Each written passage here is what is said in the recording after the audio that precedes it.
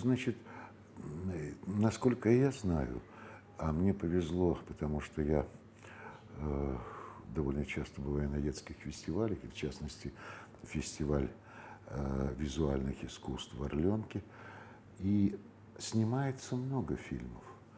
Конечно, не сравнить с тем количеством, которое производила даже киностудия Горького детских фильмов. И э, в планах любой киностудии Советского Союза э, была какая-то квота для детского кино.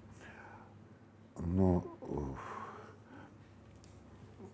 э, здесь вопрос прокатчикам надо задать, а почему те фильмы, которые сняты, и действительно хорошие фильмы, получающие премии, и причем премии, вот что касается кинофестиваля в Орленке, э, эти премии дают сами дети.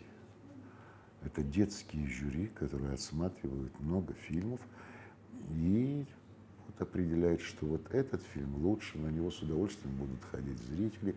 Эти фильмы не идут на экранах.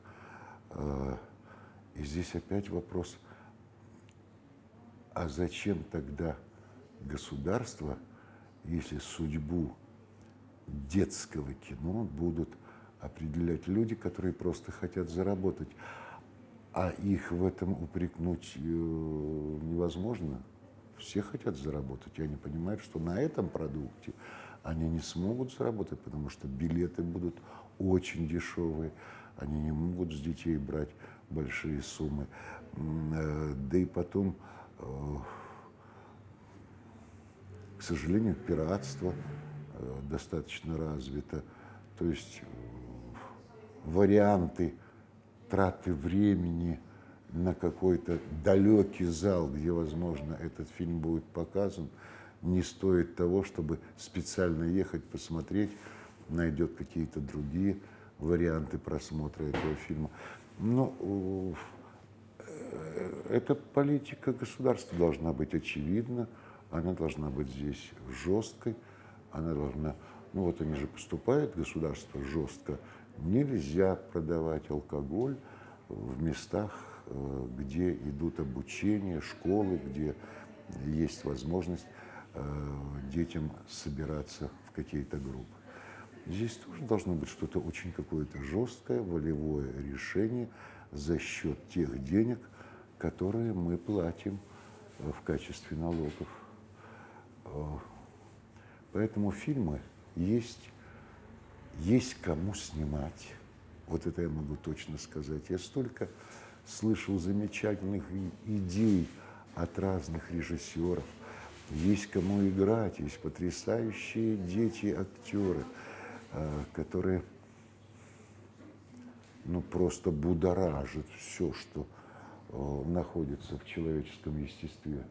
А, но это невыгодно показывать, а показывать необходимо. И здесь не нужна воля э, той структуры, которая называется государство. Но, наверное, у государства есть какие-то другие проблемы не до детей. И мы этих проблем не знаем, поэтому обвинять представителей государства тоже, казалось бы, это голословно. Каждый будет э, говорить о своем, и каждый будет тянуть в свою сторону. Но на вопрос, нужно ли детское кино, отвечают сами дети, нужно. Нужно. Э, какое? Ну, то, что они смотрят. Они смотрят кино динамичное – они смотрят кино, которое заставляет задумываться не через слова, произнесенные героями, а через их поступки. Вот необходимо кино неожиданных, ярких поступках, поступков, нацеленных на утверждение добра.